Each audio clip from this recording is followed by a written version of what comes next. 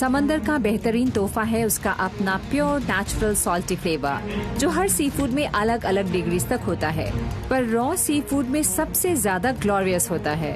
समंदर का unadulterated test मिलता है ऑयस्टर्स सस्चीमी और सिवीचे में। तो कई सारे कल्चर्स में समंदर के सॉल्टी टैंक और अनकुक्ड फ़िश और क्रस्टेशन की नेचुरल स्वीटनेस को सेलिब्रेट किया जाता है। Welcome to food safari water जिसमें है pure clean flavour raw seafood का।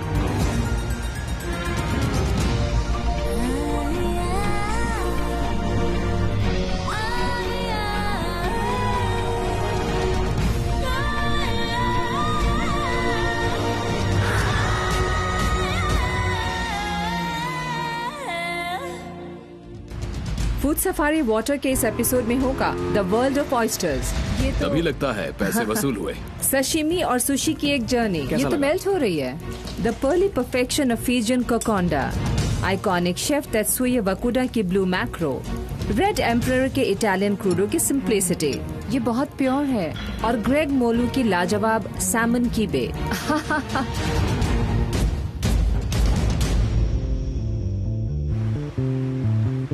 Ultimate raw seafood experience में से एक है सेवरिंग ऑयस्टर्स ब्रूनी आइलैंड के पास के क्लियर कोल्ड वाटर्स में तस्मानिया पैसिफिक ऑयस्टर्स को फार्म किया जाता है। डॉन्ट्रा कैस्ट्रा चैनल का बहाव ग्रेट सदर्न ओशन के न्यूट्रिएंट्स को मॉलस्क तक पहुंचाता है।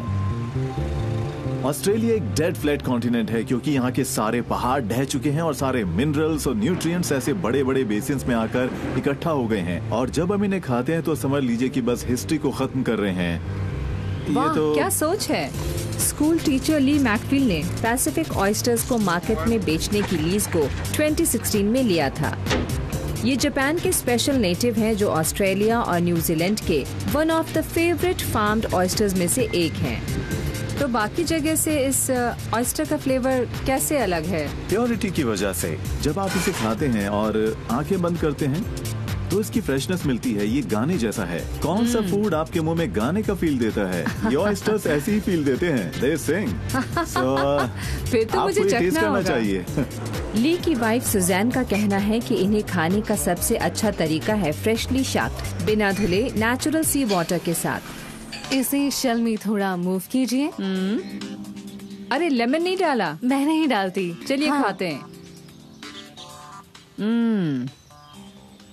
बहुत ही बढ़िया सॉल्टी टेस्ट है। एब्सोल्युटली क्या इनसे प्यार बढ़ता है? एब्सोल्युटली लड़कों को ये पसंद आता है तो मेरा भी फेवरेट बन गया। सदर्न न्यू साउथ वेल्स में क्लाइड रिवर पर एक और ऑयस्टर मिलता है। जो है नेटिव सिडनी रॉक ऑयस्टर जो समंदर से आए एल्गी और फ्रेश वाटर दोनों से मिले न्यूट्रिएंट्स पर सर्वाइव करता है। इस जगह को farmer Steve Feletti the sweet spot कहते हैं। हमारे एस्चुरी ऑयस्टर्स में फ्रेश और सलाइन का मैजिकल मिक्स होना बड़ा ही दिलचस्प है। इससे ऑयस्टर में स्वीटनेस आती है and of course the Sydney rock oyster species सिर्फ़ ऑस्ट्रेलिया में ही मिलते हैं। तो ये ऑयस्टर स्पीशीज यहाँ की जान है। स्टीव ने दुनिया भर में कॉरपोरेट लेवल पर काम किया है। ये पाँच लैंग्वेजेस बोलते हैं और टोक्यो में बैठे बैठे बाय चांस उन्हें ऑयस्टर फार्म की लीज मिल गई।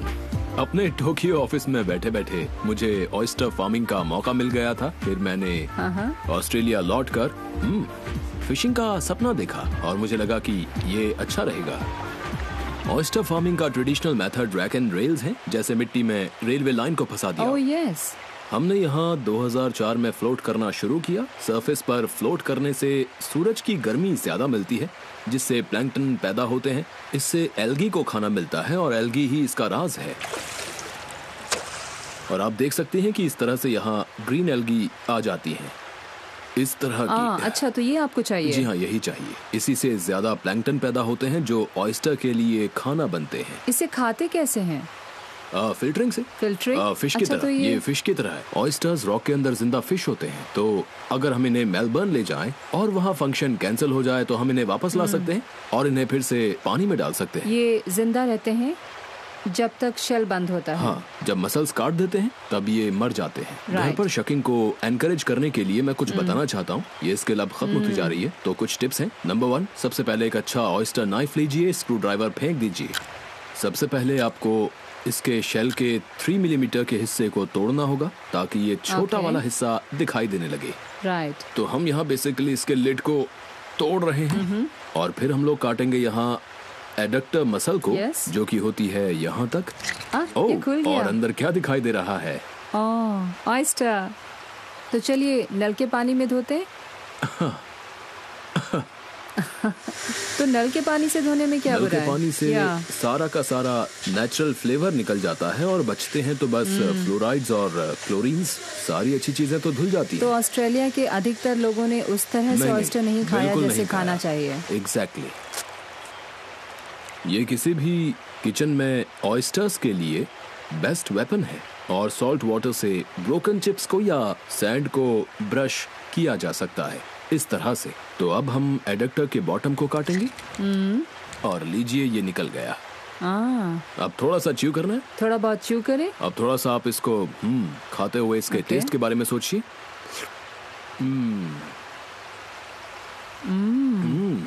ये जैसे शेल में बंद समंदर है।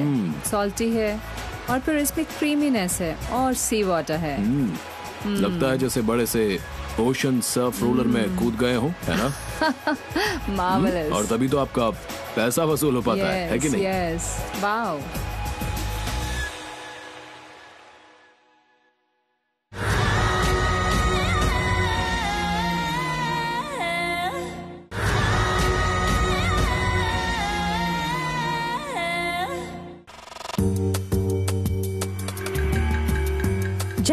वर्ल्ड में रॉ फ़िश और सी फ़ूड को बाकी सारे कुजीन से बढ़कर पसंद किया जाता है। डेलिकेट सिंप्लिसिटी और समंदर का क्लीन प्योर टेस्ट सबसे ज़रूरी है।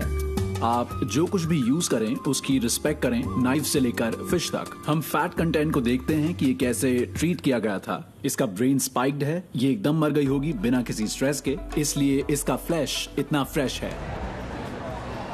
इस कॉम्प्लेक्स दुनिया में एक शेफ जो परफेक्शन चाहता है वो है चेज कोजिमा। उनके फादर सैन फ्रांसिस्को में एक मास्टर सुशी शेफ हैं और चेज ने वर्ल्ड फ़ेमस नोबू किचन्स में आने से पहले उनके साथ ट्रेनिंग की थी और फिर 2011 में सिडनी में सोक्यो खोला। हर अलग काम के लिए हम इस्तेमाल करते हैं एक अलग नाइफ हम सिर्फ़ एक साइड को शार्प करते हैं तो ऑब्वियसली ये सारे नाइव्स राइट हैंडेड शेफ्स के लिए हैं। लॉन्ग ब्लेड्स की वजह से मोशन काफ़ी अच्छा होता है। जब आप स्लाइस करें तो वन स्ट्रोक मोशन होना चाहिए। जब ये शार्प नहीं होते तो आप फ़र्क देख सकते हैं। तब आप स्लाइस नहीं करते उसे तोड़ देते हैं। और ट्यूना के हर हिस्से का अपना एक अलग नाम है है ना? जी हाँ अकामी का मतलब रेड मीट ये होता है लॉइन साइड अगर ज़्यादा थिन स्लाइस किया तो मुँह में घुल जाएगा। ज़्यादा थिक होने पर च्यूई हो जाएगा और मुँह में ज़्यादा लगेगा। तो ये परफेक्ट साइज़ का होना चाहिए। अब होममेड सोय सॉस जिसे हम ट्यूना बोन्स और बोनीटो फ्लेक्स के साथ सीज़न करते हैं। इस फ़िश में एक ब्यूटीफुल फैटीनेस है जो आपकी जीप पर मेल्ट हो जाती है।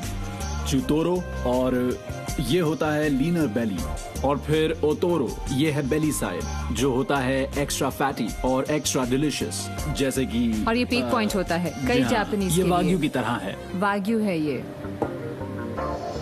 मैं इसमें यूज़ करता हूँ सुशी राइस थोड़ी सी वसाबी यस और फिर इसे देता हूँ बोट शेप इसका टेम्परेचर राइस का टेक्सचर फ़िश का टेक्सचर ये सब साथ में बहुत ही अच्छे लगते हैं। मुँह में जाते ही जादू कर देते हैं।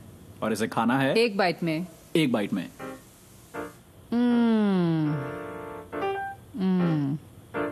क्या परफेक्ट मोमेंट है ये। पैसिफिक के एक्वाडोर पेरू और चिली से लेकर पैसिफिक आइलैंड्स तक कई सारे cultures best seasonal raw fish को यूज़ करके प्योर फ्रेश सैलड्स बनाते हैं और यहाँ इसके कई सारे वेरिएशंस और कई सारे नाम हैं। सिविचे से लेकर ओका तक। फिजी में क्योर्ड रॉ फ़िश को कोकोंडा कहते हैं और इसे बनाने के लिए राइप्ड कोकोनट चाहिए होता है, ताकि फ़िश की स्वीटनेस के लिए रिच वेलवेटी क्रीम को एक्सट्रैक्ट किया जा सके। देखिए कोकोंडा किसी भी सी फ़ूड के साथ यूज़ किया जा सकता है। आज हम यूज़ करेंगे ब्यूटीफुल स्नैपर के साथ। मैं बायरन बे में पला बढ़ा तो मुझे याद है कि मैं ब्रुंसविक हेड्स जाता था और सीधे डॉग पर स्नैपर खाता था। तो जब मैं ऑस्ट्रेलिया आता हूँ मुझे इसे खाने में मज़ा आता है। तो अब हम लेते हैं फ़िश mm. इसमें डालेंगे टमेटोज फिर डालेंगे एशलॉट्स थोड़ी रिचनेस कम करने के लिए कुछ तीखी चिलीज और फिर थोड़े और फ्लेवर के लिए ये स्वीट चिलीज ये कितना सुंदर है हाँ है ना? बिल्कुल। अब इसमें हम डालेंगे कोकोनट क्रीम। तो ये तो काफ़ी सारा कोकोनट मिल्क है। एब्सोल्युटली है ना? या कुछ लोगों को सवीचे का नाम सुनकर झटका सा लगता है और hmm. उन्हें वो एक सूपी हाँ, हाँ। स्टाइल कोल्ड सूप जैसा मिलता है। और फिर इसमें हम थोड़ा सॉल्ट और थोड़ा लाइम जूस ऐड करेंगे। तो फ़िश में कोकोनट मिल्क पहले डालने से और नींबू बाद में डालने से फ़िश कुक नहीं होते? ऐसा ही है ना? हाँ अच्छा। हाँ बिल्कुल। हम वैसे भी इसे कुक करना नहीं चाहते क्योंकि फ़िश पहले से ही एसिडिक है। हम्म। मैं इसे कहूँगा एक सीजनिंग फीजियन क्यूजीन काफ़ी बोल्ड रही है। यहाँ की हर चीज़ की तरह जैसे यहाँ के लोग हैं सेंस ऑफ़ ह्यूमर है वो बहुत ही बोल्ड रहा है। तो बहुत ही कमाल की बात है एक ऐसी जेंटल डिश को देखना हम्म। जो यहाँ से ओरिजिनेट हुई है। तो इसके बाद हम ऐड करेंगे थोड़े लीव्स कोरिएंडर की ताकि एक बहुत ही अच्छा फेस लिफ्ट मिले इस डिश को और इसे एक बहुत ही अच्छा हर्बेशियस ट्विस्ट भी मिलता है। कैसा लगा?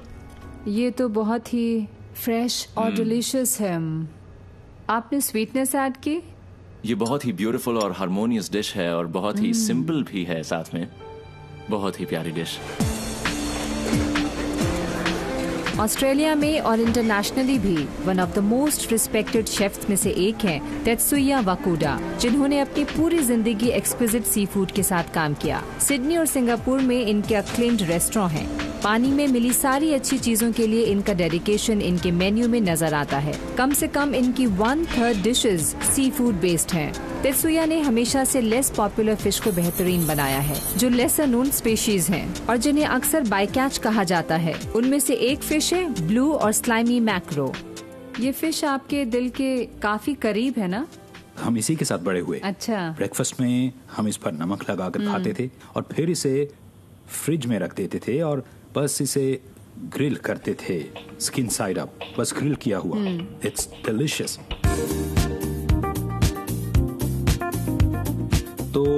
ये प्रोसेस बहुत ज़्यादा ज़रूरी है क्योंकि इसी से इसमें टेस्ट आता है और ये थोड़ी डिहाइड्रेट होती है।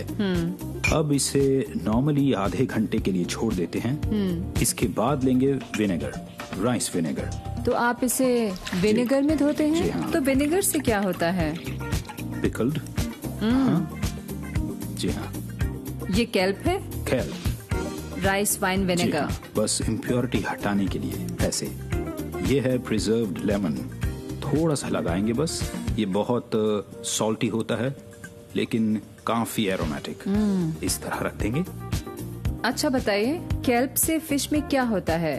कैल्प लीफ फ़िश के एक्सेस मॉइस्चर को एब्जॉर्ब कर लेती है और साथ ही कैल्प में उमामी होता है तो वो टेस्ट फ़िश में ट्रांसफ़र हो जाता है।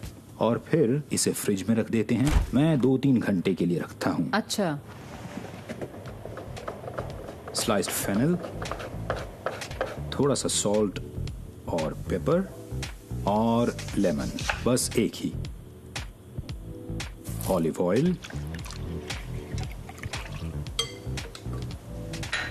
तो आपने देखा ये क्योर्ड फ़िश जैसी हो गई है। हाँ ये क्योर दिख रहा है। अब इसे स्लाइस करेंगे। अच्छा टेस्ट वाइज ये ज़्यादा महँगी फ़िश के मुकाबले कैसी है?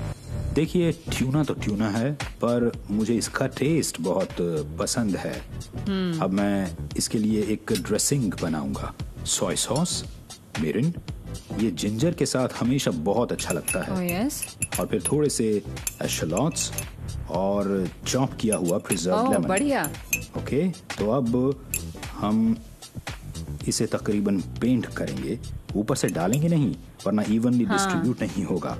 और फिर है ना ये कमाल की रेसिपी जिसमें soy sauce mirin olive oil और प्रिजर्व्ड लेमन यूज़ होता है? बहुत ही कंफ्यूज्ड एकदम मेरी ज़िंदगी की तरह ये बिल्कुल। आपकी डिश है। ये हैं चाइव्स आजकल आपको माइक्रो हर्ब्स सुपरमार्केट्स में मिल जाते हैं। तो फाइनली इसमें डालेंगे पोमेलो ये स्वीट नहीं है और जूसी भी नहीं है। तो इसमें ज़्यादा एसिड नहीं डालना है। ये ध्यान रखने की बात है। इसका फ्लेवर बहुत फ्रेश है। इसमें से फिशी फ्लेवर तो आ ही नहीं रहा। बस उसका टेक्सचर फील हो रहा है। इसका टेस्ट सचमुच में बहुत बढ़िया है। Thank you so much. Pleasure oh delicious and clever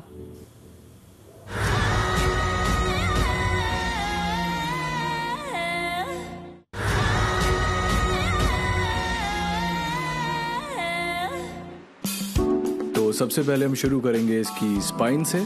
Italian world में रॉ फ़िश के सेलिब्रेशन को कहते हैं क्रूडो जिसका मतलब ही है रॉ ये डिश वैरी करती है कि आप शहर के किस कोस्ट पर रहते हैं। उसी के हिसाब से फ़िश की चॉइस और सीजनिंग बदलती है। शेफ गैब्रिएले कहते हैं कि क्रूडो इनकी ज़िंदगी का हिस्सा है। क्या बात है। ये देखिए हमारे पास एक खूबसूरत रेड एम्पर भी है। आह रेड एम्पर में ऐसी क्या खास बात है कि लोग इसे कच्चा खाना ज़्यादा पसंद करते हैं? आ, सारी डीप सी वाटर फिशेस को फ़िश ऑयल का हायर कंटेंट डेवलप करना पड़ता है। खुद को प्रोटेक्ट करने के लिए कोल्ड टेम्परेचर से। और मुझे इसका टेक्सचर भी बहुत पसंद है क्योंकि ये बहुत फर्म नहीं है। और जैसे कि आप देख सकती हैं कि इसे स्केल ना करने से मैं इसकी ऑयलीनेस को महसूस कर पा रहा हूँ क्योंकि ये बहुत ज़्यादा मेंटेन्ड है। बिना स्केलिंग हाँ, और बिना वॉशिंग के। स्केलिंग और बिना वॉशिंग के।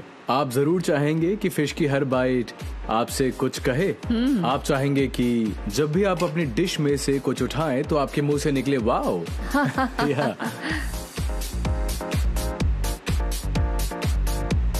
मैं हमेशा टेल से शुरू करता हूँ और इसे स्लाइस करते ही सीधे रख देता हूँ प्लेट में जब भी आप ऐसे सी प्रोडक्ट के साथ काम करते हैं और अगर आपको अपना काम अच्छा लगता है तो आप खुश हो जाते हैं हम्म। हाँ, आपको फील आपको होता है कि पता चल रहा है। इसके कलर को देखिए हम्म। और इस फ़िश के टेक्सचर को देखिए ये बहुत शानदार है तो अब मैं क्या करने वाला हूँ कि बेली साइड का एक हिस्सा लेता हूँ ताकि जब आप फ़िश खाएँ तो आपको मिले डिफरेंट टेक्सचर और मिले डिफरेंट फ्लेवर्स जिन्हें खाने के बाद बोथ वर्ल्ड्स और हर बाइट में वाओ मुझे ये पसंद हाँ। है जिसकी हर बाइट में मज़ा आए।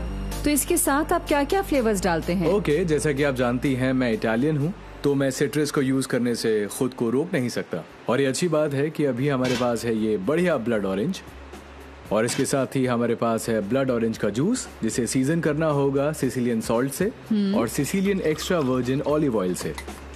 ओ इसका रंग ये कितना शानदार है। ब्लड ऑरेंज का जूस और फिर ब्लड ऑरेंज के पीसेस इन्हें रखेंगे सेगमेंट में। देखिए ये है खूबसूरत सेलरी मैं इसमें डालूँगा आइस वाटर जिससे ये बहुत ही क्रंची और फर्म हो जाएगा। ये बहुत सिंपल है। इसे ज़्यादा नहीं डालना है। और हमारे पास है ये ब्यूटीफुल रेड वेन सॉइल इसमें थोड़ा सा सिट्रसी आफ्टर टेस्ट और एसिडिटी होती है जो बहुत ही शानदार है। अब डिश के फिनिशिंग टच के लिए हम डालेंगे क्रैक पेपर और आखिरी में डालेंगे एक्स्ट्रा वर्जिन ऑयल की कुछ बूंदें। और हमारी डिश तैयार है। वाओ कितना आर्टिस्टिक है और कितना इनवाइटिंग भी। थैंक यू ये सब कुछ लाजवाब है। इट्स सो प्योर इसमें फ्रेशनेस और परसिस्टेंस दोनों का टेस्ट है। हम्म। किसी भी मील को शुरू करने का खूबसूरत तरीका है। ये मील शुरू करने का सिर्फ़ खूबसूरत तरीका ही नहीं है बल्कि ये काफ़ी हेल्दी तरीका भी है। ग्रैड से मिले ग्रैब्रियाले परेगो मिडिल ईस्ट में सबसे मशहूर डिशेस में से एक है रॉ लैम्प डिश जिसे कहते हैं किबेनेये लैम्प को ट्रेडिशनल तरीके से मार्बल या स्टोन बेसिन में पाउंड किया जाता है जिसे जुरन कहते हैं। इस मीट को क्रैक्ड व्हीट या बर्गल के साथ मिक्स करके चिल्ट करते हैं ताकि इसका टेस्ट बना रहे और फिर इसे फ्रेश हर्ब और ब्रेड के साथ सर्व करते हैं। World renowned chef Greg Malouf को लेबनन की क्लासिक डिशेस में एंडलेस इंस्पिरेशन मिली है। वो नए टेस्ट एंड कॉम्बिनेशन बनाते रहते हैं, लेकिन मिडिल ईस्ट की हिस्ट्री और हेरिटेज का साथ नहीं छोड़ते। ग्रेग का सैमन बेनेये उनके मेन्यूज पर हमेशा से मशहूर रहा है और उसे इंटरनेशनल फेम भी मिला है।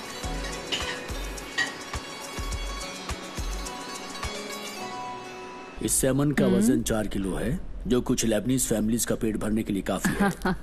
अच्छा। अगर दुकान वाले से लेते हैं तो मैं उससे कहूँगा कि सेंट्रल कट दे स्किन हटाकर और पिन बोर्ड भी पिन बोन्स को बाहर निकालना होगा। ये डिश किसी भी नौसिखी के लिए काफ़ी अच्छी है क्योंकि एंड में हमें इसे पीसना है। तो ये अच्छी डिश है ट्रेनिंग के लिए। अब मैं इसको फ्रीजर में रख दूँगा ताकि ये अच्छी तरह से ठंडी हो जाए। अब मुझे क्रैक्ड व्हीट को सोक करना है तो मैं इसमें पानी डालूँगा और चार पाँच मिनट के लिए छोड़ दूँगा। अच्छा बस इतना ही। ताकि ये पानी को एब्जॉर्व कर ले। सैमन के चिल हो जाने के बाद सबसे पहला स्टेप है आइस को इसमें डालना। बहुत नहीं बस थोड़ी सी। इससे फ़िश से निकलने वाले ऑयल बाइंड हो जाते हैं और फिर उसके बाद डालेंगे एशेलॉट्स यानी व्हाइट ऑनियंस और थोड़ी सी चिली भी। ऑल स्पाइस थोड़ा सा सी सॉल्ट इसमें सॉल्ट बहुत ज़्यादा लगता है।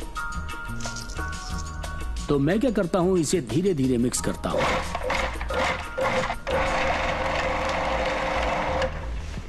अब इसे सोख होते हुए करीब पाँच से सात मिनट हो गए हैं। तो अब इसका क्रंच खत्म हो गया है। हमें बिल्कुल ऐसा ही चाहिए था। अब हम एक टेबल स्पून की मदद से इसको इसमें डालेंगे और धीरे धीरे इसको इसमें मिक्स कर देंगे। और बर्गू से इसे एक्स्ट्रा बॉडी मिलती है। एक्चुअली इससे सब कुछ आपस में अच्छे से मिल जाता है। अ, अब देखिए ये कितना अच्छा लग रहा है। आपको इस डिश का आइडिया कैसे आया? ये डिश मैंने बहुत पहले बनाई थी और शायद मैं किसी सुशी बार में गया था और अगले दिन जब मैं काम पर लौटा तो मुझे लगा कि जब वो लोग ऐसा कर सकते हैं तो लेबनीज ऐसा क्यों नहीं कर सकते ब्रिलियंट तो सेंटर से शुरू करें और साइड्स को पूरी तरह से राउंड करना है और प्लेट की शेप को फॉलो करना है। इसे बराबर कर लेंगे। इसे जितना हो सके उतना सिमेट्रिकल बनाना होता है। तो ये ट्रेडिशनल तरीका है कि बिनाए को डेकोरेट करने का। आपने बिल्कुल ठीक कहा। और पुदीना इससे होती है डिश कंप्लीट हम लेंगे सैच ब्रेड लिटिल स्कूप मेरे पास कुछ व्हाइट अनियंस हैं जो आइस कोल्ड वाटर में सोख हो रहे थे जिससे इसका स्वाद मीठा हो जाता है। बिल्कुल एक एप्पल की तरह। अ पीस ऑफ़ मिंट और अगर आप में हिम्मत है तो थोड़ा सा extra virgin olive oil dip कीजिए ओके और खाइए। वाह क्या कॉम्बिनेशन है। It melts on your tongue thank you my friend thank you thank you very much